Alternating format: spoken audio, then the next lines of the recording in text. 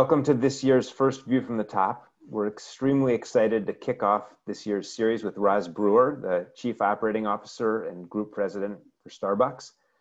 Roz was born and raised in Detroit. She earned her bachelor's degree in chemistry from Spelman College and began her first job as a scientist at the Kimberly Clark Corporation. She spent more than two decades at the company, moving into business operations and eventually becoming the president of one of the company's global divisions.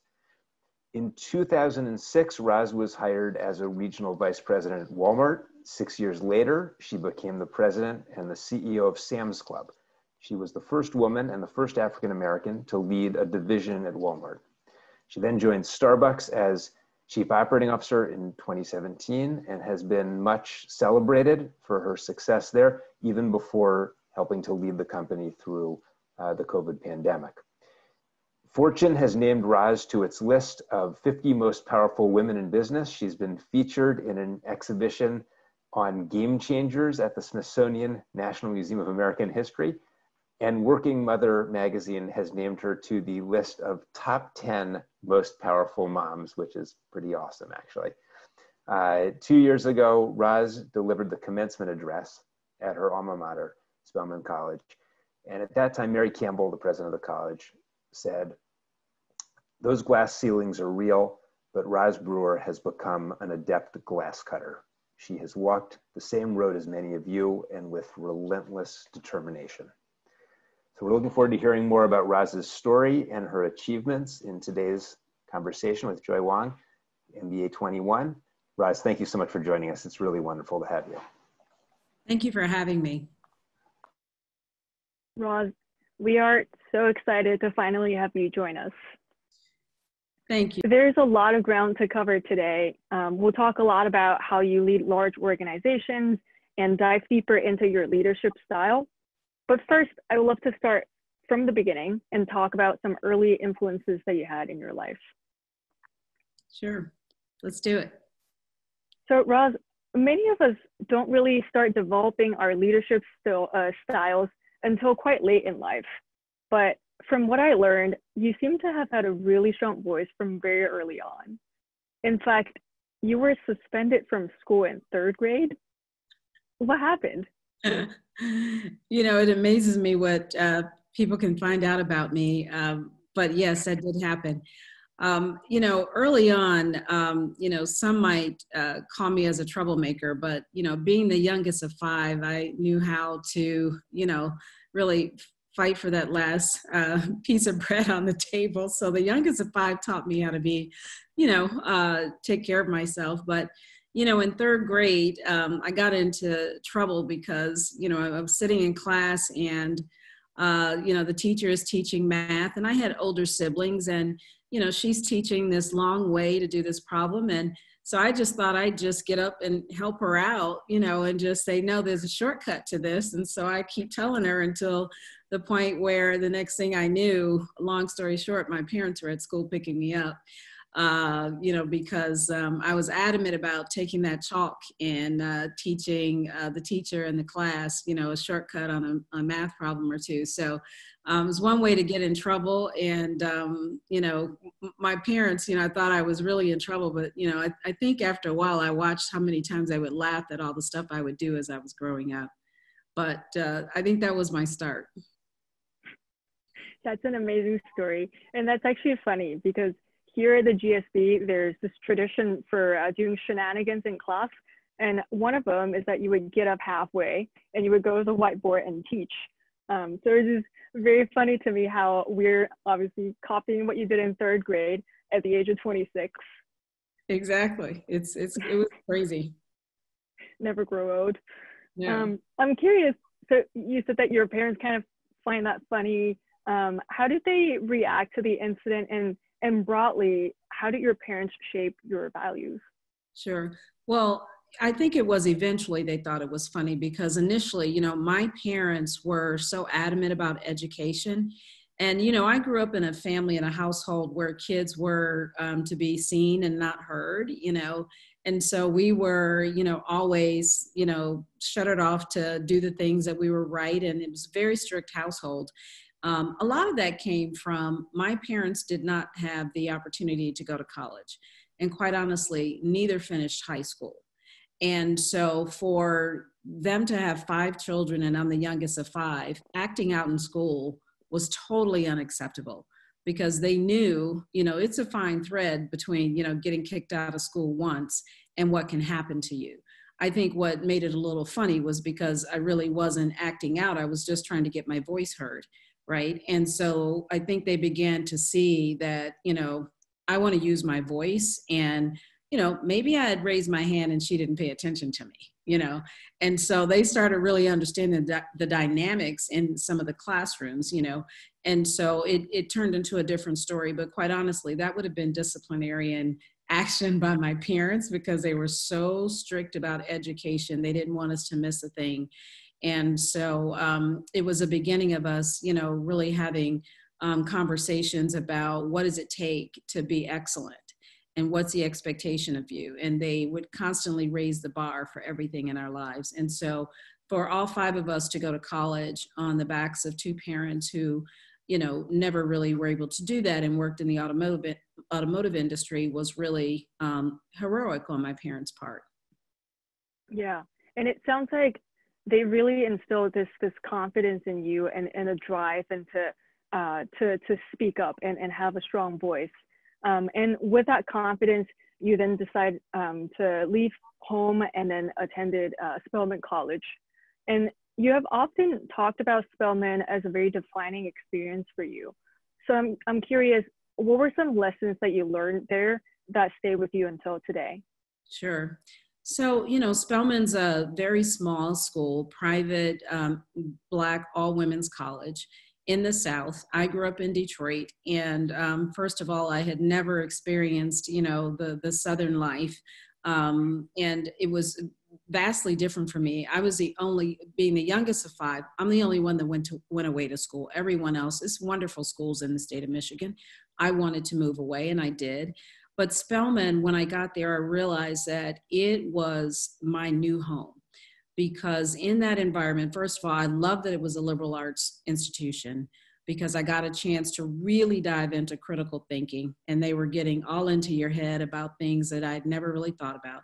But then also too is such a nurturing environment to have a you know first name basis with your professors and um, and the all the entire faculty it was very special to me. And to be in the environment of people who women who look like me but came from all different walks of life i thought i was in a knew that i was in a very unique situation. And so going to an hbcu is a very deliberate decision.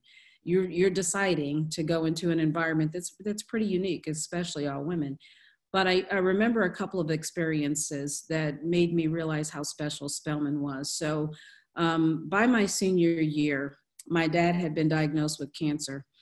And um, spring break of my senior year, I'm studying for the GMAT, trying to finish my major in chemistry, minor in um, math, all at the same time when I get the call that I need to get home because this looks like, you know, my father was um, moving, was passing on. And so this was six weeks before graduation. And um, you know, all of a sudden I get my organic teacher changing all of my um, test dates for me so that I can test when I get back. Uh, the school chaplain was in my dorm room like within 10 minutes after getting the call.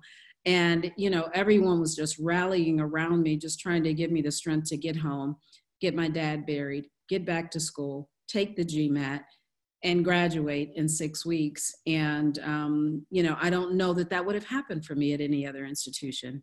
And so it is something to have that kind of feeling and closeness that I will absolutely never forget my experience at Spelman because I felt like people saw me for me and um, not as you know another number in the school. So it's it's a special place, a very special place.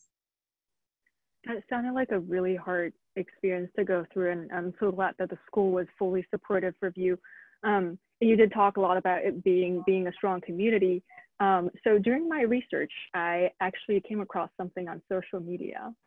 Um, if you could see on the screen, you probably remember this. yes. Yeah. Oh, wow. Yeah, that was October 2nd, uh, 2018, the day it was announced that I was uh, the new chief operating officer for Starbucks.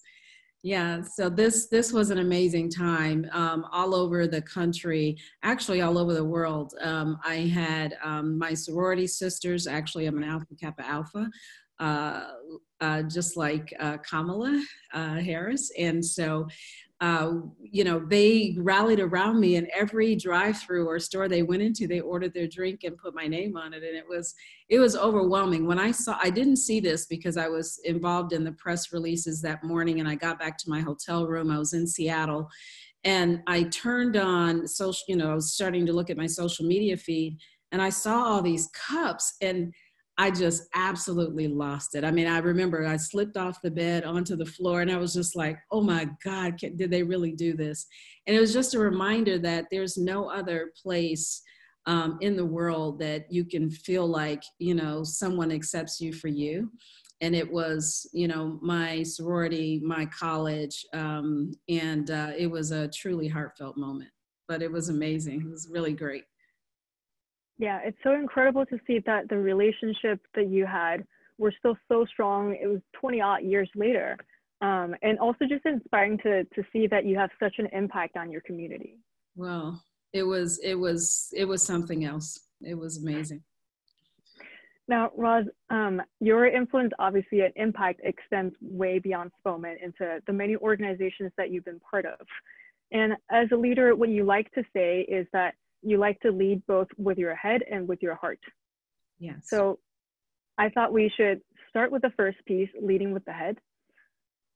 Now, you've been in the retail industry for more than 10 years now, and um, you were quite the visionary doing a lot of time. Um, for example, when you were at Sam's Club, you invested a lot of efforts into curbside pickup and e-commerce efforts, um, which was quite ahead of many of the, the offline retailer peers um, and still a really critical piece of the, the strategy for Walmart today.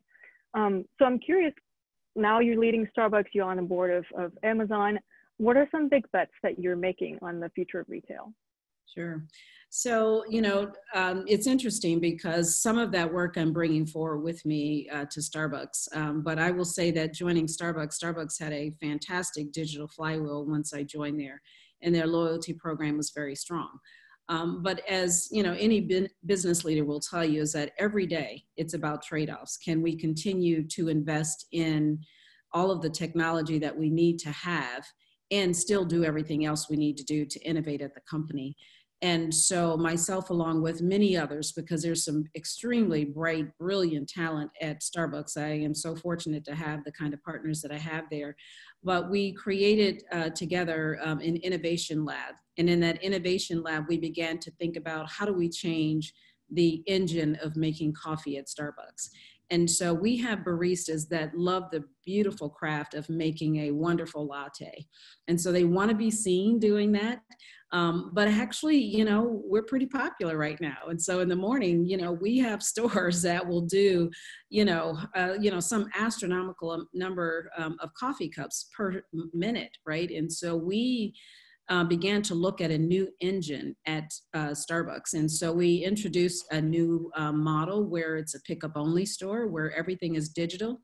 We flipped the kitchen to the back and um, we've opened up several of those. We have three or four of those in our unit, but we just recently announced we're going to um, add more of these pickup units to our our our, um, our fleet. Uh, so the technology uh, goes on and on with with Starbucks. So it starts also with the stores, and then also too relieving our baristas of having to do any kind of manual work, like manual scheduling. So all scheduling is automated.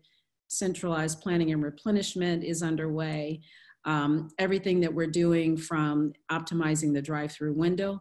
And what's so interesting is that going into this COVID experience in life where we're trying to create social distancing, everything that we had in our innovation pipeline, we've been able to bring it forward pretty quickly. So that's been part of our recovery plan. We had innovation plan three to five years out. We're now executing that on an eight, by 18 months, we'll have all of that innovation out in the field. And so it's pretty exciting. It's around beverage innovation, the store innovation, and then what we continue to do with the digital flywheel. So, um, you know, I've, um, I'm very grateful for the work um, and the things that I learned at Walmart because I'm actually bringing that forward at Starbucks. And it's exciting to have, you know, be with a coffee company that's so digitally, you know, sound as we are. So it's, it's pretty exciting. And one thing that you mentioned that will probably continue after the pandemic is this trend towards everything going more virtual and digital, right? And you talked about um, changing store formats into pickup only. Um, it seems like a very particular problem to, to, to Starbucks because the company has always prided itself on being the third place and a place where people would come together and, and relax and have a great conversation. Um, yeah. So, how do you think about creating and maintaining that connection and that community in, in a virtual world? Yes, and you know, that is one of the things that we put, you know, um, we look at our work as what are the most significant problems we can solve. And that is one of them because, you know, that's what we admire about our mission and values is that third place. But when you approach a Starbucks and you see the, the familiarity of your barista that you love and that you can say, hello, how are you, Jessica? And you remember your barista, your barista remembers the customer it starts right there. And that's whether you're handing something through the drive through window or you're going out to curbside. And we, right now, I'll tell you, our customer connection scores are higher than they were pre COVID. And that's pretty exciting um, to see that, you know, first of all, um, we know that people are starving for connection again and they're starving for something that they're familiar with so that you know their customized beverage is something that they look forward to and when starbucks opened back up they were like oh my gosh okay there's something that's normal here and i can see my barista and um, we never underestimate that. So the things that we're doing is we're just trying our best to free up our baristas time so that they can give eye contact and look the customer squarely in the face. And you know i i get amazed and i tour a ton of stores. I'm still touring stores even through covid um, just doing my own driving um, to stores by myself in the in the vehicle in my own car and just going to stores and walking in and spending time at a distance uh, with the baristas because they want to see us. And then I hear the conversations between the customers and the baristas and the excitement of them reconnecting it's amazing to me and it and it helps me understand that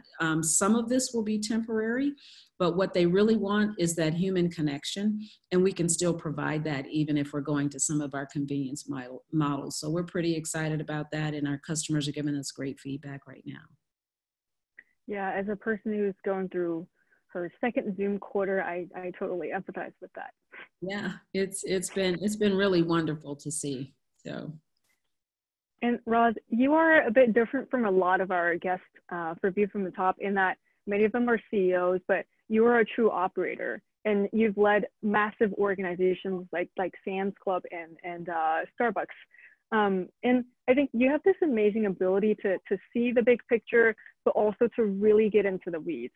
Um, an example was that when you joined Starbucks, um, the it was actually kind of a low point for the business and sales wasn't doing well and you came in and quickly discovered some operational issues that really moved the needle. Um, one of them was an insight that store traffic was too slow at around two o'clock in the afternoon. That's right. And I, and I bet there could have been maybe 50, hundreds of issues that you could have looked into. Um, so how are you able to hone in so quickly at such a micro level? Sure. So, you know, one of the things um, being at Walmart is that, you know, you spent, you, we, we got a chance to spend a lot of time in stores. And after a while, I can almost walk in a store and get a feel for the operations of the store.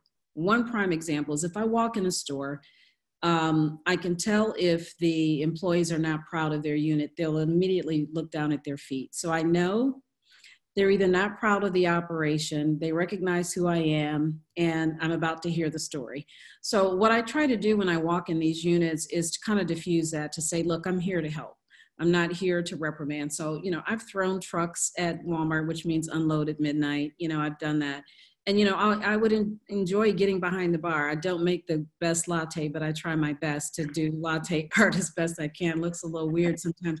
But you know i try to meet them where they are because i feel so responsible that there's probably something that we did at the home office that's creating a bad outcome at the store. So that's that's part of it but I've also, um, you know, having a background in chemistry, I'm a little bit of an analytic. So you can kind of watch an operation and see what's flowing and not flowing, and um, and then match it with numbers and data and analytics, and pretty come out pretty much come out with your solution. So. Um, you know, understanding that we were maxing out in the morning, but then tons of opportunity in the afternoon um, it was a chance for us to say, what is, what's the menu in the afternoon? What's a customer looking for in the afternoon? Who's in the store in the afternoon? What's competition doing in the afternoon? And then, you know, we were able to adjust um, and offer something different in the afternoon day part and began to grow the business that way. So we dug ourselves out of a pretty deep hole um, back at that time. And, you know, it's still um, pre COVID, uh, we were having some of the most fantastic results. And as you saw in our prior earnings, we're returning uh, to recovery.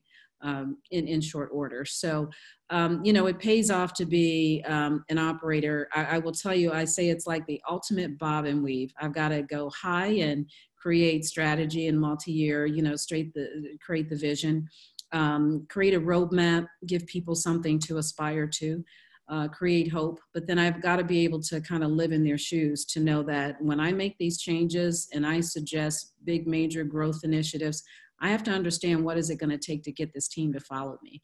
And I'm I'm really um, glad that I had some of the small jobs that I had, but I realize the reason why I've had some of these small jobs too is because, uh, quite honestly, you know, there were times in my career where I was given the you know the unfortunate work to do.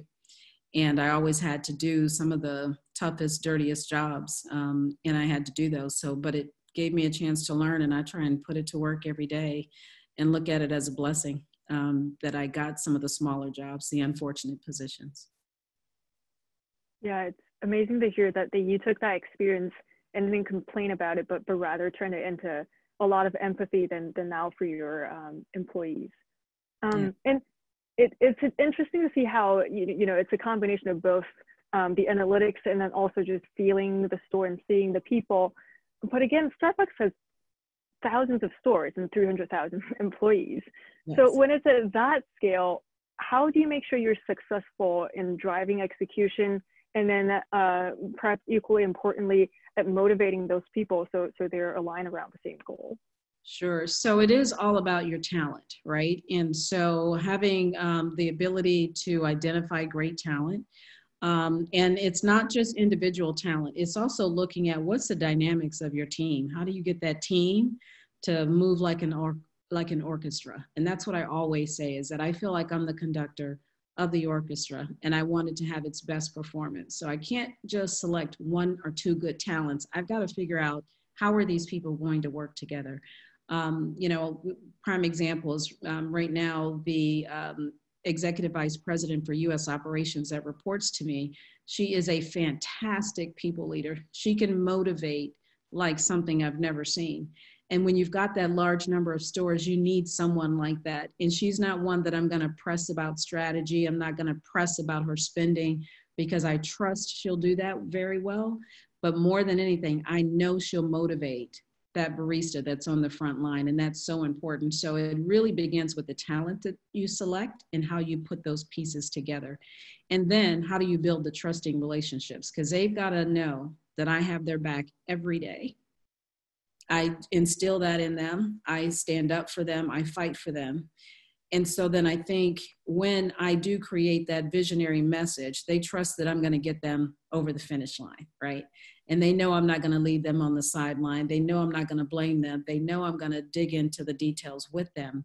And so we began to work together because I, I, I, do believe in still rolling my sleeves up. Um, it, it takes that. You cannot, in, in retail today, if you're not willing to roll your sleeves up, um, get ready for some pretty mundane numbers because it takes you really getting into the trenches to get these companies to grow. And um, that's what it takes right now. And speaking of motivating people, I think this is a great segue into the second piece of your leadership, uh, which is leading with the heart. And um, as an Asian woman, I, I could sometimes get a little tired of questions around diversity and equality.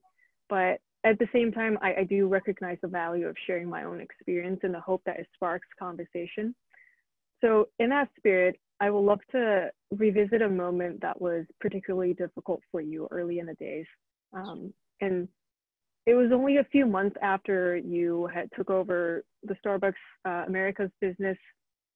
Two black men, Rashon Nelson and Donte Robinson, were wrongfully arrested in the Starbucks store in Philadelphia. Mm-hmm. Now, I think many of us knew the facts of what happened later, but could you take us back to that moment? You just heard about the incident, you got on a flight, you're on your way to Philadelphia. What was going through your mind? Sure. So, you know, when I got the news, um, and and it was interesting the way I began to pick up the news, and um, the news was really hot on Black social media, and it hadn't quite hit anywhere else. So I'm hearing it, and I'm letting you know other people in the company know, and it's kind of catching up with us that we got a problem in Philadelphia. Once we realized just how bad it was, um, we did. Uh, I did take off to Philadelphia and, and meet some of my um, partners there. Um, the first thing that really startled me was that I was began, beginning to get the feed on the two gentlemen and I could see what they looked like. So I knew right away. So, first of all, um, it was two people arrested. It wasn't, we didn't know that they were African American males. It quickly became African American males. And then when I saw them, the first thing I thought about is, um, wow, you know, this this is not going to be good in addition to they look so familiar to me right because um, they're everything that i've seen in my communities right and by the way i have a son i had a, my son was that exact same age and so i looked at what happened and thought this could happen to my son any day of the week and um, i was actually terrified because those two gentlemen went to jail that night and they stayed there overnight just for having walked into a Starbucks. And there's something wrong with that. There's something wrong. And I knew right away there was something wrong. And um, we got into Philadelphia, um, created a war room, and began to work on this situation. And the first thing was to make sure that these two gentlemen returned safely to their home. And uh, and we were engaged in in um, in, in that work, um, and then began to tell the story and to admit that uh, Starbucks did something wrong here. And, you know, our policies failed us, our leadership failed us. Um, this happened under, I felt like it happened under my watch. Um, I was running, I'm running US operations, part of my responsibility. And these two gentlemen, um, the police were called after 10 minutes of being in our stores. Now, um, that's not what we do at Starbucks. And so I knew, um, and then I looked at the young woman who was running that store and like I mentioned before, leadership um, is, you know, a, a, all about the talent that you select. And she's a fine talent, but for her to work at a store at 18th and Spruce in Philadelphia, and she's a young new leader, we set her up for um, failure, and then the whole system falls down, falls apart. And the interpretation of policies was taken for granted. Um, we had work to do.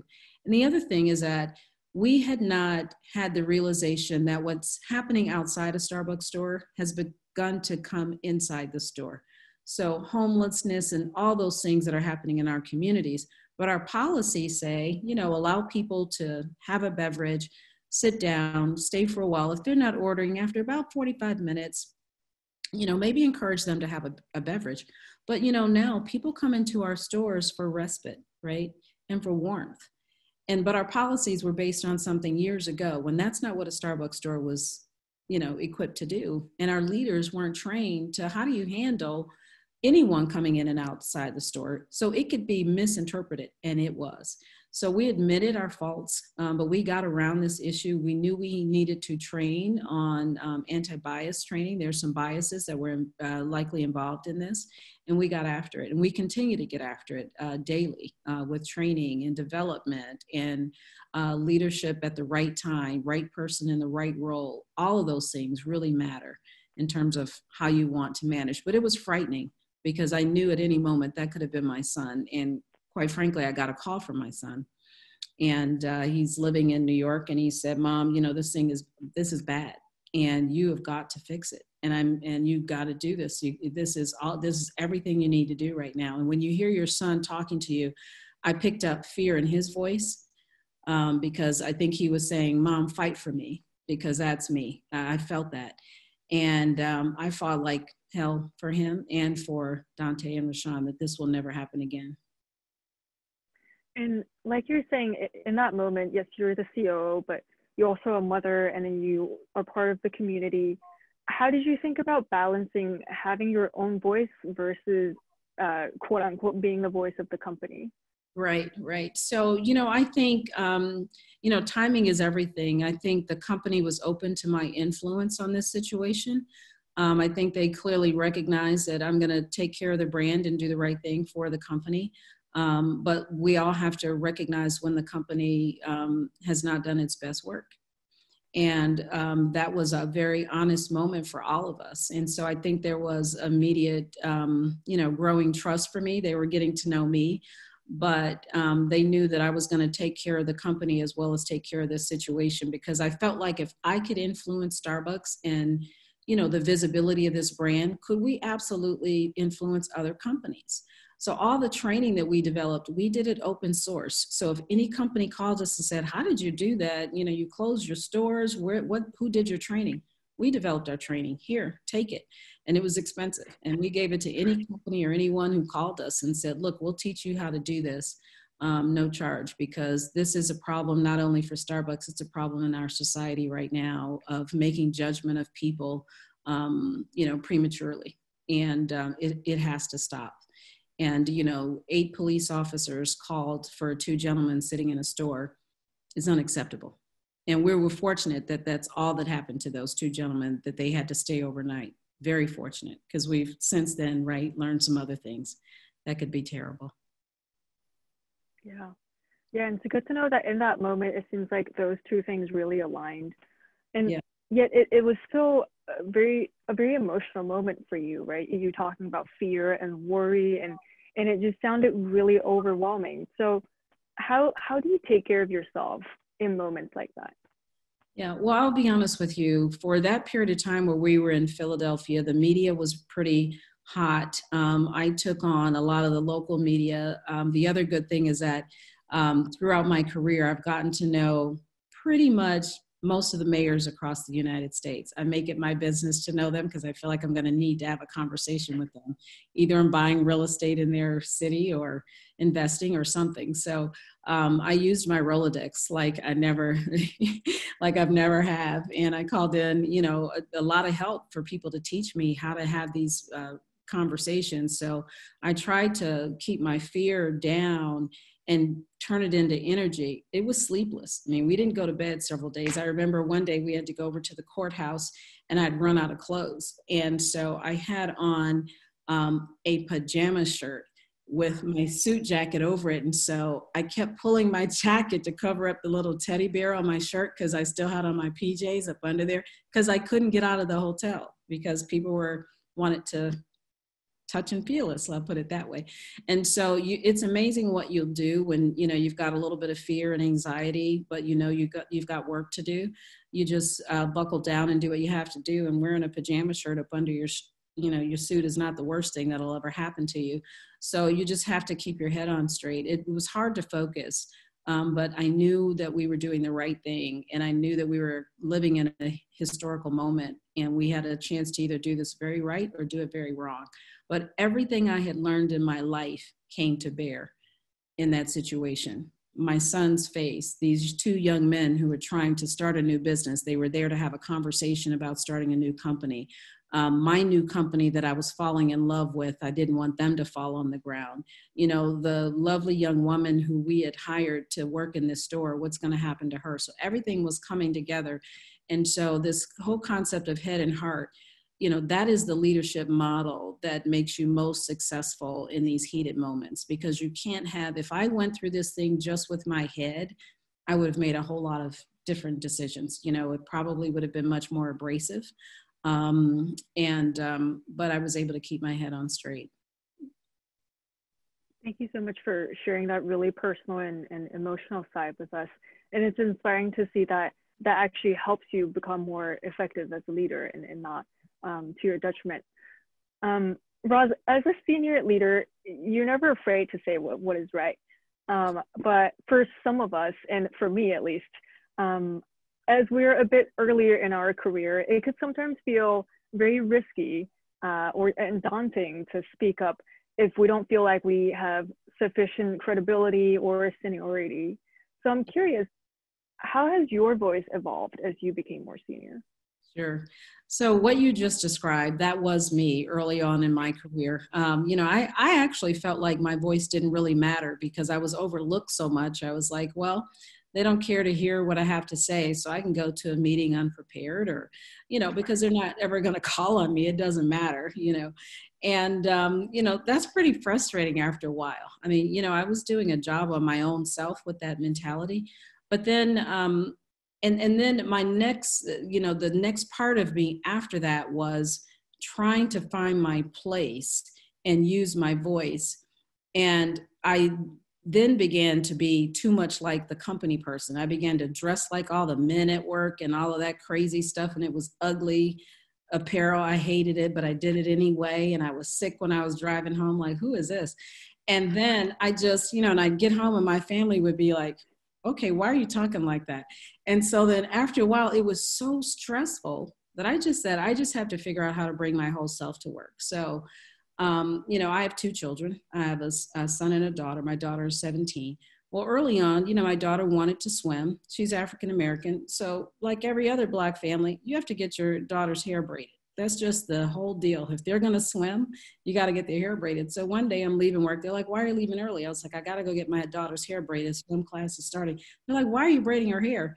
I was like, because if I don't, I, am going to have to deal with this hair on her head. And so I had to explain cornrows to people I work with. And after a while, I just decided it was so stressful trying to hide. I could have said, oh, I'm leaving the office for a doctor's meeting, a doctor's appointment. I was like, no, I got to go get cornrows done. So I was, you know, let me tell you what that's like. I got to sit here for eight hours, you know, in in the salon. So, um, but once I started doing that, I felt so much better. The stress was so high of me trying to be two different people. I could not bear it anymore. I was not myself. And so I just reconciled that I've got to bring my whole self to work.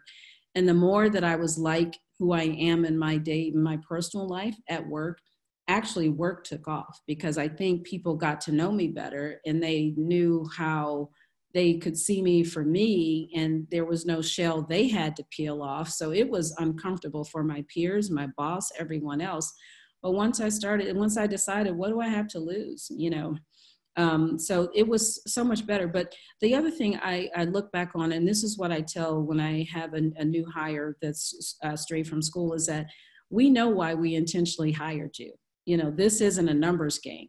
But if I hire an Asian woman, that's because I want an Asian woman's voice at the table. So if you come and don't use your voice, I feel like I got a bad investment here. So I always tell folks, understand why you're here. Don't be bashful about it. Let's be clear. I need an Asian woman's voice at the table. So that's why you're here. This isn't anything about, you know, um, I need, you know, to hit a number, a diversity number. And so sometimes when I see people sitting back in their seat and not engaging in the conversation, I will call on them and say, What do you think? And they hate it. Um, but after a while, and then I don't, you know, I just say, okay, good idea, move on, you know, but I keep picking on them until they feel, because first of all, you got to hear yourself talk. And once you hear yourself talk, you're like, okay, I can talk. I mean, you know, it's just that simple.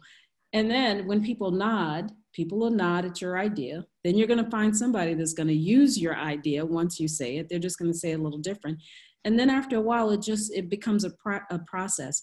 But don't sit silent in the room. And I try my best whenever I see that. I always call that person out and um, try to give them a platform. And I'll endorse what they say. I'll help them with their viewpoint. I see that they're struggling because it absolutely it still takes that but don't be silent in the room. Even if you think you're going to make a mistake, that's better than sitting there quiet because you begin to suffocate. To be honest with you, you suffocate your opinion, yourself. It'll change your self esteem. So just get it out there and feel like you have value. And I think it's so important. That is amazing advice. And Roz, you've been advocating for equality for many years, but it a lot of times it just seems like things haven't changed as much as we would have loved them to. And I know this year has been particularly difficult for a lot of us as we continue to witness racism and injustice. And at times it could feel very overwhelming and disheartening. Mm-hmm. Um, I'm curious if you see any hope in the moment and, and what do you think we can all collectively do to use this moment to move forward together? Yeah, you know, um, I'll be uh, really frank with you. You know, there's been some days where I've had to really pull myself up um, to say and do the right thing, you know, because I'm human too. You know, I'm a mom. You know, the Ahmaud Arbery thing really struck me hard. Um, that one stuck with me. George Floyd murder stuck with me um, you know, I have, it's so interesting. I have all nephews and only one niece. And so all these black males, young black males are around me. And so I remain nervous and scared for them right now and, you know, wondering what more that I can do. But I pull myself up knowing that if I stay steadfast to set the example, engage as many people as I can in conversations, and use myself as an example to teach and educate, maybe I do have a way to begin to change these narratives and the views of people. Um, the other thing I think that um, that I've been really focusing on is getting people to vote. Um, and vote in the vote in every election. I don't care if it looks like a school superintendent and you're, you know, just go vote, you know. Um, and so I'm I've been a pretty big advocate for that. Um, it's the best way we can change and have our voice heard um, is to vote.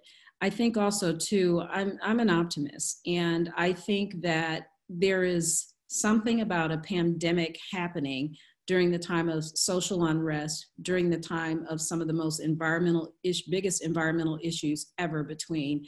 In one week, we had fires, flooding, and storms all in one week across two different parts of the country. Um, and then the outcome of this is to see the inequities of who gets help and who doesn't get help. And so, you know, when you see about, you know, you, you see things like what's happening with COVID, and you can't say, well, why is that happening? Well, why are African Americans and Latinos, why are they more exposed? Well, it's because of housing and living conditions. Years ago, asthma is something that is environmental, right? And so, what was their housing situation like? Where are there opportunities for medicine? And by the way, where's the education system? So what this is doing right now, this very moment that we're in, it is unveiling the weaknesses in our country like never before. So while we all regret it, I personally regret it, it is now pulling the covers off of so many embedded issues that we have to face because these things will happen again. But hopefully, we'll never go into a pandemic while our communities are in such social unrest, so, um, you know, put in positions where healthcare is not available to them, hopefully we'll begin to do things different because right now we have a laser beam on the real ills of our country right now, and we should be paying attention to those. Yeah, that's very true. And I hope more people would not just pay attention, but also be part of it and, and share the burden. Exactly. Yeah, and I, I can't wait. I hope soon enough we'll be so obsessed about talking about equality the same way that we're obsessed with uh, quarterly earnings today. Exactly, exactly. That's so true. You're right about that. Roz, I time just flew. Um, I'm at the we're at the end of the interview. It's truly been a pleasure. Um, we did select some students for a Q&A session, um, so we'll turn to those student questions right now. Awesome, that's great. I think we see the first student on the screen. Do you mind introducing yourself before the question? Of course. Hi, Roz. Hi, Joy. Um, I'm Marcia Austin. I'm an MBA one here at the GSB. Great. And so my question for you is this. Um, what was the most pivotal point in your career that you think was the point that led you to the C-suite? Hmm. Uh, I think probably the most pivotal moment um, that led me to the C suite was when I left Kimberly Clark after uh, 22 years of being in the CPG industry, I was group president of uh, global manufacturing and operations, and I left there to take a role at Walmart as a vice president, a regional uh, leader out in the field running stores. And I knew either I was crazy or I was determined to do something great. Um, at the time, Walmart didn't have the best reputation at that time. And um, I knew I was walking into either a gold mine or, you know, something else but it was an opportunity for me to really step up. I really wanted to impact the most people that I possibly could. And Walmart has 2.2 million employees. And I said, you know what, Roz, forget about, you know, I really wasn't thinking about the C suite. I was thinking about impact. But now I realize, um, you know, impact comes with scale and growth.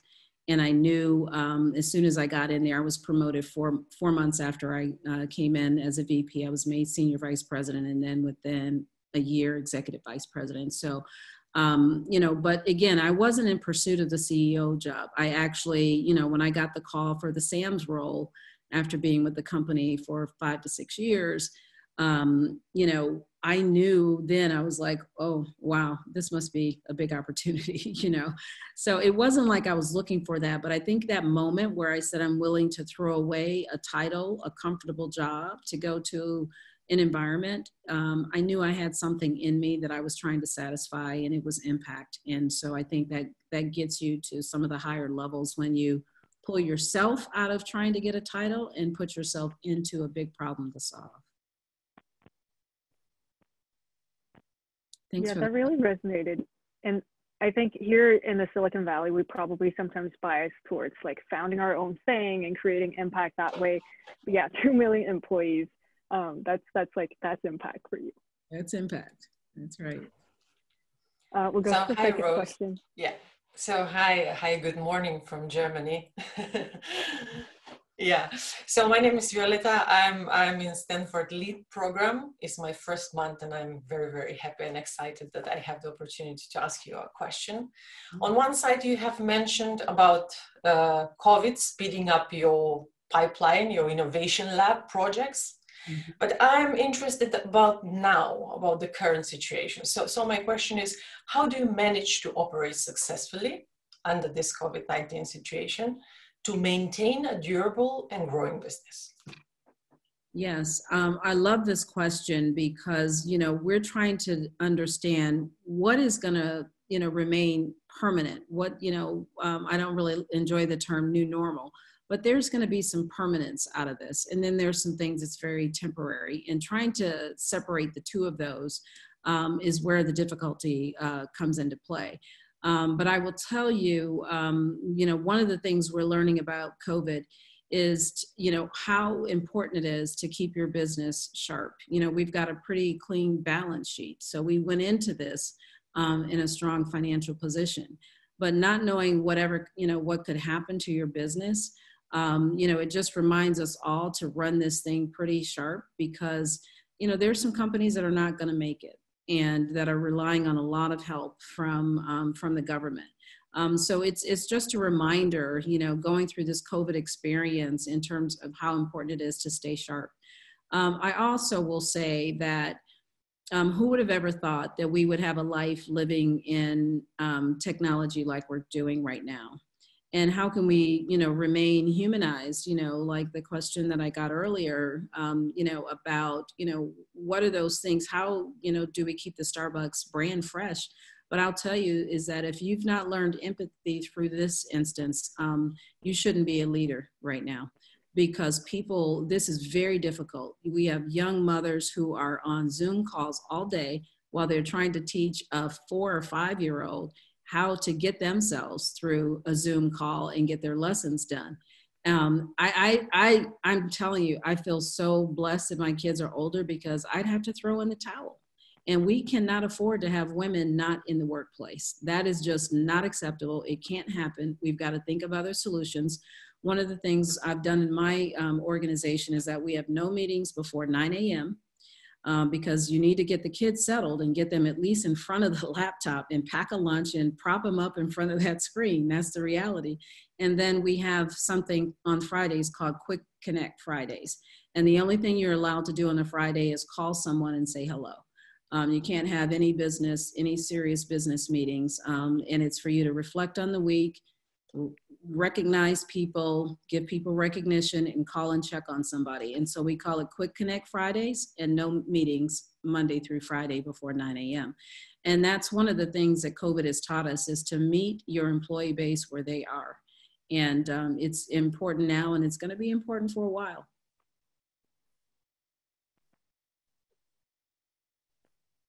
I think it's just waiting for the third student to come on the screen. Hi, Roz. Uh, my name is Steve Soma. I'm also a member of the Stanford LEAD program. And my question, I think you kind of touched on this a little bit, but maybe you could expand on it, was how has the shift to remote work uh, influenced your leadership style, if at all? Yeah, so um, what I just mentioned is, is part of it, but I think the other part is I'm finding as a leader that I have to be very intentional um, because you know when you've got someone engaged in a camera you know it's not like you're going to lean over and have a casual discussion and you know create the sidebars. And sidebar conversations can be very rich right? Because you kind of vibe off of each other. So one of the things that i worry about a bit is that what about our future innovation? Because innovation happens when you know brains collide and conversations happen so we've been, you know, using some unique software for that um, to help us. A software called Miro that you probably are familiar with, or um, you know, just um, you know, I was able to uh, go over to the home office this week in Seattle and spend some time in our innovation lab just to connect with people to say, I see the work you're doing. I, you know, love what you're doing and to keep on. So I'm spending a lot of my time um, just making sure that I have these connection points with individuals and making sure that innovation keeps going. That's one of the things I worry about is that, um, you know, refilling that pipeline of, of innovation right now. Rosa, I love that even though you were talking about innovation, but you are still fundamentally talking about people and meeting them where they are and, and um, making sure that they could have a voice. Um, I have one last question for you before we wrap it up. Um, we'll be asking this question to all the speakers that join us this year. What principles do you rely on when you're facing the toughest moments as a leader? Hmm. So, in my toughest moments, um, first of all, I rely on high integrity.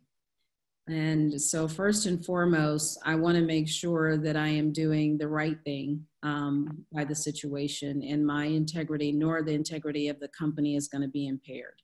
So, I would have to say high integrity is the first thing. The second thing that I rely on is um, trust. I want to make sure that each and every day I'm building um, trust. People want to know that they work for somebody that cares about them and wants to um, and that they can be depended upon so I, I rely on on trust and trusting relationships and then lastly i think what i depend on and this is the operator in me is just doing what i say i'm going to do. And that's not always easy. You know i have competing objectives sometimes.